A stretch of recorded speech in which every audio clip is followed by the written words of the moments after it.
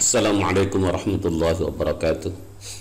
Bismillah, Alhamdulillah, wassalatu wassalamu ala rasulillah wa ala alihi wa sahbihi wa mawalah Ma ba'dah, mulai pertemuan ini kita akan membahas tentang riset design yaitu rancangan penelitian. Dan untuk kesempatan ini kita akan mengkaji terkait dengan uh, eksperimen desain eksperimen uh, apa sih desain eksperimen itu? Kita bisa mempelajari di sini. Desain eksperimen adalah manakala saudara akan menguji uh, untuk memastikan apakah uh, variabel dependen itu betul-betul dipengaruhi variabel independen kan itu. Jadi eh, eksperimen ini pada dasarnya adalah eh, ingin mengetahui ingin mengetahui sebab akibat. eh, atau yang disebut dengan deterministik ya, deterministik. Jadi antara variabel dependen dan independen itu kan itu. Kapan saudara eh, sebaiknya menggunakan desain eksperimen itu? Manakala saudara ingin memastikan apakah eh, antara sebab akibat itu antara variabel independen dan dependen itu memang eh, terjadi sebab akibat kan itu. Jadi eh, satu contoh misalkan eh, manakala kita akan mengadakan satu eksperimen terkait dengan satu teknik pembelajaran itu, apakah teknik pembelajaran tertentu itu betul-betul eh, mempunyai pengaruh terhadap prestasi belajar. Jadi apakah yang teknik pembelajaran A bila dibandingkan dengan teknik pembelajaran B itu mana yang lebih tinggi pengaruhnya terhadap terhadap eh, hasil belajar kan itu. Jadi eh, eksperimen itu digunakan eh, manakala saudara akan menggunakan satu desain seperti itu kan itu. Nah, ada beberapa hal yang perlu diperhatikan ketika saudara menggunakan eh, eksperimen. Yang pertama adalah random uh, jadi ketika saudara menentukan satu kelompok ya kelompok yang saudara eksperimenkan itu itu memang dilaksanakan secara random yang kedua adalah saudara harus memastikan bahwa seluruh variabel lain itu memang dikontrol. Jadi di, di, diusahakan dalam kondisi yang sama kan itu. Terus yang berikutnya adalah saudara melakukan satu satu manipulasi atau melaksanakan satu treatment ya. Dari saat dari apa dari yang sudah eksperimenkan itu kan itu. Terus yang berikutnya adalah hasilnya outcome-nya kan itu terus ada perbandingan. Terus yang ketiga adalah uh, yang berikutnya adalah uh, yang perlu di, perlu dikaji terkait dengan ancaman-ancaman terhadap validitas ya valid, validitas hasil itu kan itu oke yang pertama random jadi idealnya uh, kelompok-kelompok yang saudara eksperimenkan itu memang dipilih secara random kan itu. Uh, hanya saja memang me melaksanakan penelitian dengan dengan memastikan kelompok itu dengan random. Kalau saudara teliti ini di eh, kelas-kelas uh, sekolah itu menjadi sedemikian sulit kan. Kenapa menjadi sedemikian sulit? Karena kalau ada dua kelas yang akhirnya saudara random, misalkan saudara itu meneliti di eh, SMA ya atau di aliyah kan itu misalkan saudara meneliti di kelas 11 ya kelas 11 di kelas 11 itu ada beberapa kelas sehingga sudah diizinkan oleh kepala sekolah untuk meneliti di kelas A sama kelas B nah, kelas A sama kelas B itu manakala akhirnya saudara random saudara acak maksudnya jadi nanti ada ada anak yang semula di kelas A akan menjadi kelas B, yang kelas B menjadi kelas A kan itu. Kalau dua kelas itu sudah diacak seperti itu, maka tentu akan mengganggu seluruh uh, jadwal uh, apa jadwal pembelajaran pada siswa kan itu sehingga sehingga ini menjadi sedemikian sulit ya menjadi melaksanakan eh, apa melaksanakan satu kelompok dengan secara random itu menjadi sedemikian sedemikian sulit oleh oleh karena itu biasanya kalau penelitian-penelitian itu dilaksanakan di jam-jam sekolah maka peneliti itu akan sangat sulit untuk untuk memastikan untuk menggunakan eh, kelompok itu dengan secara acak atau ran, random kan itu Apakah boleh untuk menggunakan non random? Jadi kita tetap menggunakan misalnya kelas A itu kalau menggunakan model apa namanya eksperimen selama ini kelas A kita kita jadi sebagai kelas eksperimen, kelas B kita jadi kelas kontrol kan itu. Kalau seperti itu itu namanya uh, pembagiannya dengan tidak menggunakan non random. Nah, manakala saudara menggunakan cara random itu itulah yang namanya true eksperimen kan itu. tapi kalau kalau itu saudara tidak menggunakan tidak membagi apa kelas itu secara random maka itu yang disebut dengan kuasi kuasi eksperimen jadi eh, eksperimen semu lah itu eksperimen semu kan itu nah yang berikutnya tadi sudah saya katakan bahwa saudara harus bisa memastikan bahwa seluruh variabel yang terkait dengan yang saudara teliti itu bisa saudara kontrol kan itu.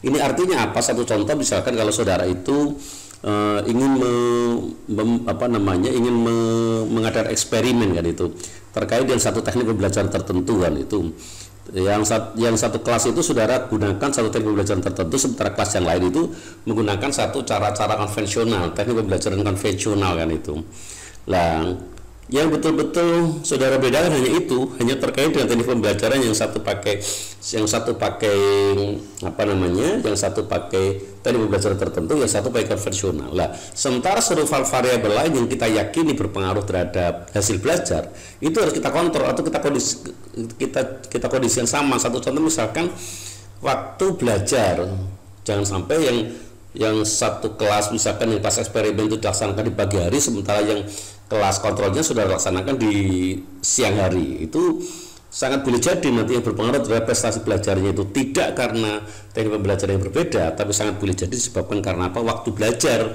di mana kalau pagi itu dia lebih semangat dibanding pada waktu siang kan itu. Yang kedua misalkan eh, kondisi kelas jangan sampai yang satu ber yang satu non AC itu boleh jadi eh, ada ada pengaruhnya terhadap hasil belajar itu. Karena berasa itu lebih nyaman itu mungkin belajarnya lebih lebih enjoy dan seterusnya. Yang yang ketiga kualitas guru.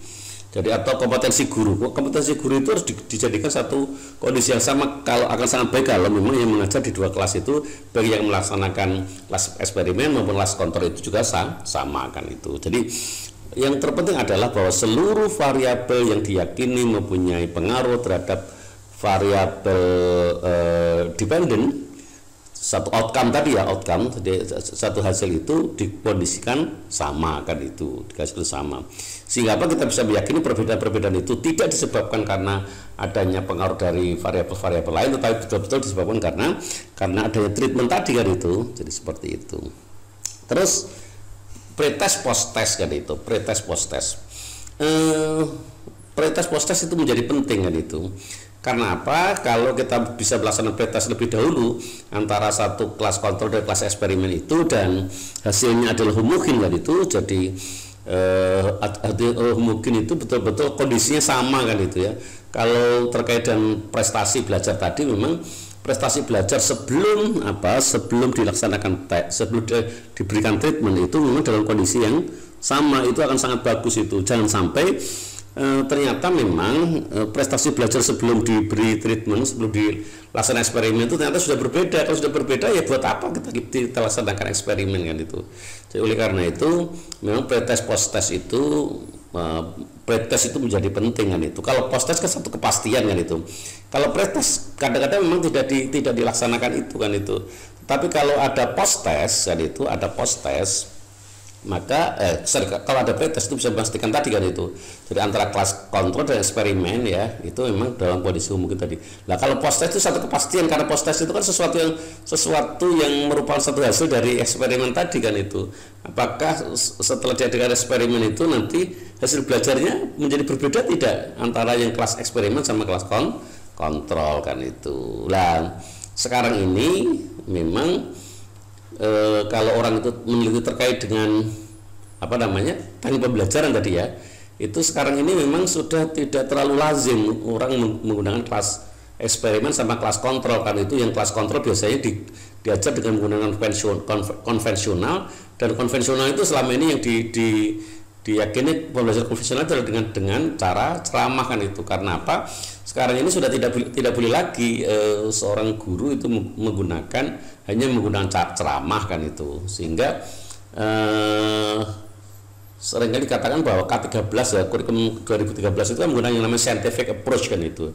Jadi scientific approach jadi yang lebih lebih banyak menggunakan ke active learning kan itu active learning. Makanya penelitian e, eksperimen sekarang ini itu yang banyak adalah membandingkan antar teknik kan itu.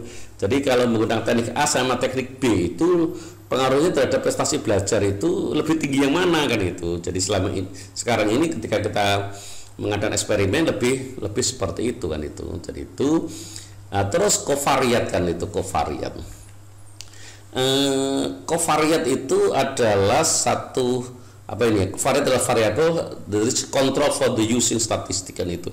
Nah, contohnya seperti ini kan itu. Misalkan kita akan membandingkan ya membandingkan tiga teknik pembelajaran kan itu ya teknik tiga teknik pembelajaran. Uh, lah kita kita bisa gunakan satu hasil dan pengaruh terhadap hasil belajar ya. Hasil belajar pada semester sebelumnya itu itu bisa dijadikan sebagai kovariat kan itu. Kovariat jadi eh, apa namanya eh, tidak hanya membandingkan uh, setelah diadakan apa namanya uh, eksperimen kan itu. Jadi ada ada ada ada ada ada kovariatnya kan itu. Tadi apa kovariatnya tadi uh, yaitu hasil belajar yang didapatkan sebelum diadakan treatment sebelum diadakan eks, eksperimen atau yang didapatkan pada semester sebe, sebelumnya. Itu juga akan sangat baik kan itu. Akan sangat baik untuk untuk apa digunakan untuk mengontrol ya mengontrol bahwa memastikan perbedaan-perbedaan pasca pasca eksperimen itu betul-betul tidak disebabkan tadi tidak disebabkan karena sudah terjadi perbedaan sebelum diadakan eksperimen tetapi betul-betul per, e, perbedaan hasil belajar itu lebih disebabkan karena apa perbedaan teknik pembelajaran yang di, diberikan itu terus matching matching of partisipan kan itu. Matching of partisipan itu gambarnya seperti ini matching of partisipan itu. Lain seperti ini. Jadi satu satu kelas misalkan ini ada ada laki ada perempuan itu. Jadi memang diselang-seling seperti ini. Ini yang jadi laki-laki masuk kelas eksperimen. Ini yang perempuan juga gitu. Nanti selanjutnya gitu. Yang ke sini ke sini jadi disilang-silang seperti ini kan itu. Ini juga dalam rangka untuk untuk memastikan bahwa antar kelompok tadi kelompok eksperimen dan kelompok kontrol itu memang eh, apa peserta didik yang masuk di dalamnya itu adalah dengan kondisi sama kan itu dengan kondisi sama. Jadi tidak nanti yang satu satu kelompok itu seluruhnya perempuan yang satu kelompok karena laki-laki ya sangat boleh jadi perbedaan itu. Nanti ketika diadakan treatment dan akhirnya terjadi berbeda jangan-jangan perbedaan itu lebih disebabkan karena karena tadi karena e, jenis kelamin kelaminnya yang ber, berbeda itu. Jadi ini tadi treatment sudah saya sampaikan bahwa e, ketika sudah ketika sudah diadakan membagi kelompok tadi kan itu setelah dibagi kelompok tugas berikutnya apa? Ya tadi melaksanakan eksperimen kan itu. Jadi eksperimen. Dengan apa? Menggunakan kalau terkait data pembelajaran dengan diajar dengan teknik pembelajaran yang berbeda kan itu teknik pembelajaran yang berbeda sementara satu kondisi variabel yang lain dikondisikan menjadi sa sama kan itu. Lah kalau terkait dengan bagaimana eh, teknik analisisnya nanti kan itu teknik analisis kalau apa kalau seorang peneliti itu menggunakan kovariat tadi ya dengan menggunakan tiga, kelompok sampel misalkan uh, itu bisa menggunakan ANCOVA analis kovarian kan itu seperti itu atau kalau membandingkan tiga kelompok sampel saja kan itu dia bisa menggunakan uh, ANOVA kan itu. Kalau tiga kelompok sampel. Kalau dia dua kelompok sampel ya menggunakan t-test kan itu t-test. Jadi bisa t-test before after ada t-test eh, jadi t-test of independent kan itu. Jadi ada t-test of related ada t-test of independent tadi.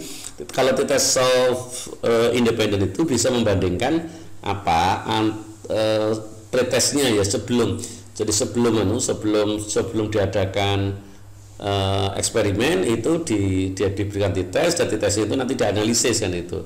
Satu satu hasil tes yang baik itu manakala apa? Manakala yang diterima itu adalah HO artinya apa? Bahwa antara satu kelompok dengan kelompok yang lain itu uh, adalah sama kan itu. Lah sementara kalau nanti uh, post testnya akhirnya ketika dianalisis menjadi berbeda itu betul-betul disebabkan karena apa? Disebabkan karena adanya perlakuan adanya eksperimen yang berbeda tadi kan itu. Itu itu beberapa hal yang penting dari eh, metode atau desain eksperimen ya desain eksperimen. Yang perlu saya garis bawahi bahwa eh, eksperimen yang baik itu adalah ketika menentukan kelas-kelas yang berbeda apa antara satu satu kelas dengan kelas yang lain itu betul-betul dilaksanakan secara secara acak kan itu. Lah kalau tidak bisa dilaksanakan secara acak nanti menggunakan yang namanya analisis eh, menggunakan eh, kuasi eksperimen bukan lagi true eksperimen. Nah, agar kualitas eksperimen itu tetap baik untuk yang menggunakan kuasi eksperimen itu bisa dilaksanakan pretest lebih dahulu kan itu